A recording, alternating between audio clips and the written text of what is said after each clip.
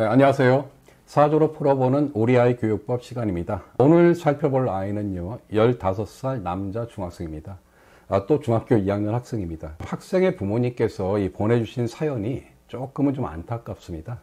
아이가 이 선천적으로 좀 몸이 아파서 정상적인 학교 생활에 어려움을 겪고 있다 이렇게 말씀을 좀 해주셨는데요. 그래서 좀 아이의 건강에 대한 질문과 함께 아이가 전학을 갈 지역 이런 문의를 해주셨습니다. 아, 좀 어려운 문제인 것 같습니다. 저는 이 좀 질문에 답을 좀 바로 드리기 전에 아, 좀 한 가지 당부드릴 것이 있는데요. 물론 이제 사주 명리학이 뿌리를 두고 있는 이 음양 오행설은 이 한의학을 비롯한 동양 의학들의 이론적 배경인 것은 사실입니다. 그래서 이제 이 사주팔자를 풀게 되면요.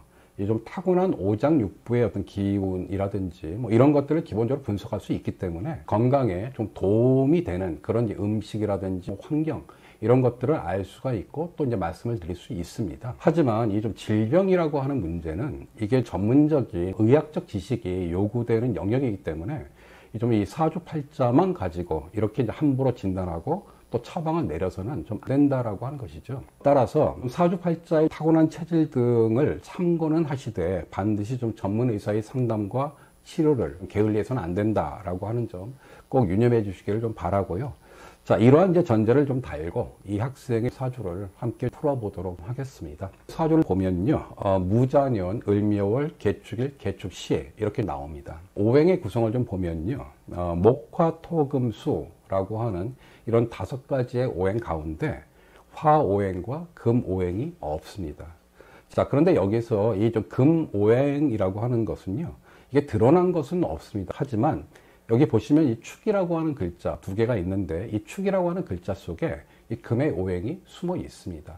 그게 사실 있는 거다라고 말씀드릴 수 있어요. 그런데 이 좀 화오행은요, 하나도 없습니다. 이게 사주팔자에 드러난 것도 없고요.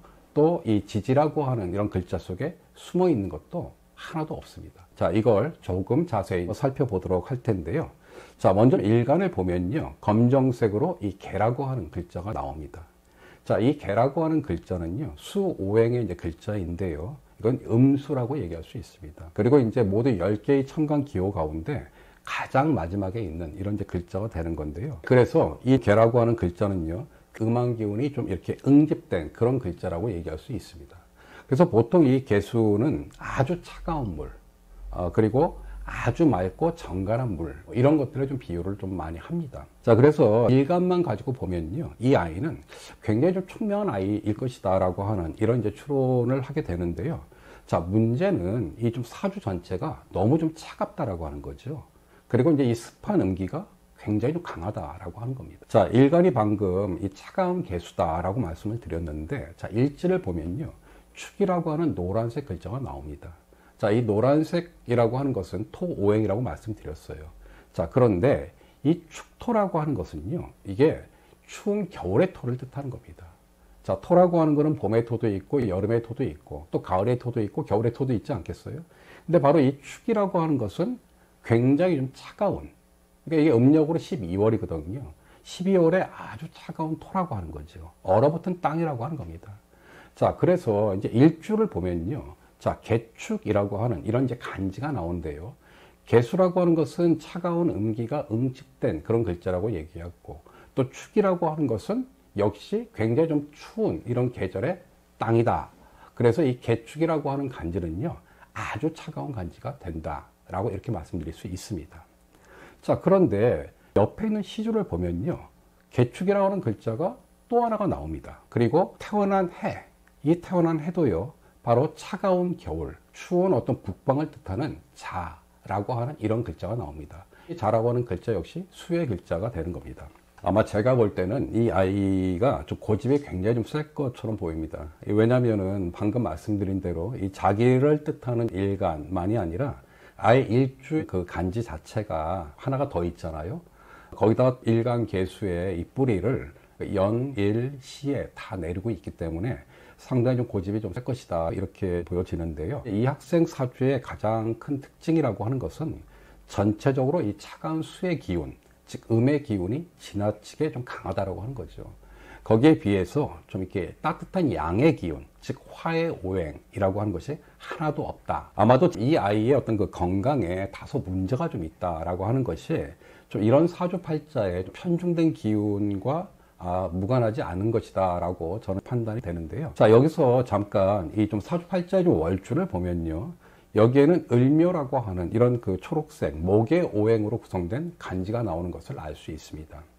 자, 목의 오행, 즉 이게 양의 어, 오행이기 때문에 뭔가 조금 도움이 되지 않을까라고 하는 이런 좀 기대를 할 수 있는데요. 아, 하지만 이 을묘라고 하는 간지는요, 을이라고 하는 글자, 묘라고 하는 글자, 이게 전부 다 다 습한 음목입니다. 그렇기 때문에 이 좀 사주 전체에 이런 좀 습하고 차가운 그런 사주의 좀 균형을 잡아주기에는 조금 역부족이다 이렇게 좀 보여지는데요. 그럼에도 불구하고 월죄의 을묘라고 하는 간지는요, 이 학생한테는 굉장히 저는 소중한 글자들이다라고 이렇게 말씀드릴 수 있습니다. 그러니까 비록 이제 음목이기는 하지만 그나마 좀 지나치게 치우친 수의 기운을 그러니까 조금은 좀 이렇게 흡수하는 역할을 하고 있다라고 말씀드릴 수 있고요. 또 이제 무엇보다도 이 을묘라고 하는 이 간지는 이게 그 모두 초록색 목의 오행으로 이루어진 간여 지동입니다. 그래서 이거는 보통 강한 생명력을 상징하는 잡초에 많이 비유를 하거든요. 따라서 이제 매우 강하고 끈질긴 그런 어떤 예적 생명력을 상징하는 기호이기 때문에 아마 아이에게 도움이 될 것이다 라고 말씀드릴 수 있고요. 그래서 이제 아마 대운이라든지 세운과 같은 이런 운의 흐름에서는 치우친 사주팔자를 좀 보완하는 그런 이제 긍정적인 역할을 충분히 좀 할 수 있다라고 말씀드릴 수 있습니다. 그럼에도 불구하고 이 전체적으로 좀 이 사주팔자의 조화와 균형을 이루는데 꼭 필요한 따뜻한 화의 오행, 어떤 화의 기운이 절대적으로 부족하다라고 하는 이런 사실에는 좀 안타깝게도 변함이 없는 거죠. 따라서 이 아이에게는 이 화의 기운을 반드시 보완을 해 주어야만 합니다. 앞에서 말씀드렸지만 어, 질병의 문제는 의학적으로 다뤄야 할 문제이기 때문에 이 전문가의 상담과 치료가 이제 필수적으로 전제되어야 한다라고 하는 말씀 다시 한번 어, 확인시켜 드리고요. 이러한 전제에서 좀 이 사주 명리학의 좀 진단과 처방이라고 하는 것은 좀 스스로 병을 이겨낼 수 있는 어떤 환경과 조건을 만드는 차원으로 좀 받아주셨으면 좋겠다라고 하는 말씀이고요. 아이의 사주가 너무 좀 습하고 너무 좀 차가운 이런 음의 기운으로 편중되어 있다라고 하는 것을 알았다면 뭐 당연히 밝고 따뜻한 양의 기운을 보완해야만 합니다. 따라서 지금 사시는 곳이 좀 해가 잘 들지 않는 이런 좀 북향이라고 하셨는데요. 어, 당연히 해가 잘 드는 남향으로 이사를 하시는 것이 아이의 건강에 도움이 됩니다. 그리고 어, 가능하면 좀 이게 밀폐된 구조의 좀 아파트보다는 좀 사방으로 통풍이 잘 되고 그리고 또 햇볕도 어, 잘 드는 그런 곳이 좋지 않을까. 그리고 또 호숫가라든지 바닷가와 같이 이런 물가를 너무 가까이 하는 것은 좋지가 않습니다. 앞서도 말씀드렸지만 아이의 사주가 전체적으로 음한 그런 수의 기운으로 편중되어 있기 때문에 가급적 수기는 멀리한 것이 좋다. 가능하면 나무와 꽃 그리고 풀을 자주 접할 수 있는 이 좀 산을 가까이 하는 것이 좀 더 좋다 이렇게 말씀드릴 수 있고요. 그리고 또 이 집과 좀 아이의 방 이런 인테리어와 관련해서도요. 이 따뜻한 화의 기운을 보완하는 차원에서 방의 벽지나 이제 소품, 아이가 입는 옷 이런 것에서 가능한 이 차가운 음의 색깔, 즉 검정색이나 하얀색 그리고 금속 소재는 가급적 피하는 것이 좋습니다. 따뜻한 양의 색깔, 즉 빨간색이라든지 그러니까 초록색과 같이 그리고 또 나무 소재를 사용하는 것이 좋다라고 말씀드릴 수 있고요. 어, 음식도 마찬가지입니다. 음식 성질이 차가운 음식이 있고 뜨거운 음식이 있습니다. 이 아이의 경우는 가능한 그 차가운 음식을 피해야 됩니다. 그리고 이제 성질이 좀 따뜻한 음식들, 그것이 이제 붉은색 음식이라고 얘기를 하는데요. 붉은색 음식을 즐겨 먹도록 하는 것이 좀 건강에 도움이 된다라고 말씀드릴 수 있고요. 또 이제 부모님께서 말씀해 주시기를 좀 아이가 이 컴퓨터 게임을 어, 좋아한다. 이렇게 말씀을 해 주셨어요.